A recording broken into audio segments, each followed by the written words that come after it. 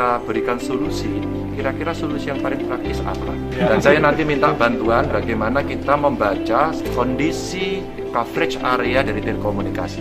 Maka cerita-cerita haru yang biasanya muncul di media, wah dia mesti naik pohon, dia di atas rumah, dia di atas bukit, itu terpetakan oleh kita. Warganya menyampaikan daerah-daerah mana saja yang black spot, terutama yang mengcover uh, pendidikan atau sekolahan itu kita akan bekerja sama tentunya kita akan uh, bangun di sana. Dan hari Telkomsel, terima kasih memberikan bantuan 700 ribu. Itu tidak main-main. Yang bisa dibagikan kepada anak-anak kita mungkin juga nanti kepada guru-guru. Tapi juga ada e-book tadi yang disiapkan terus Cloudx yang disiapkan platform-platform yang disiapkan.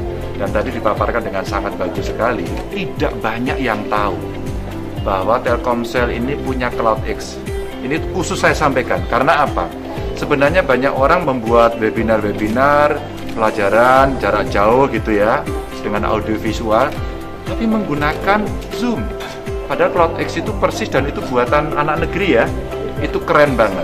Maka tadi saya meminta kalau itu bisa diuji cobakan semacam promo agar kita menggunakan produk kita sendiri.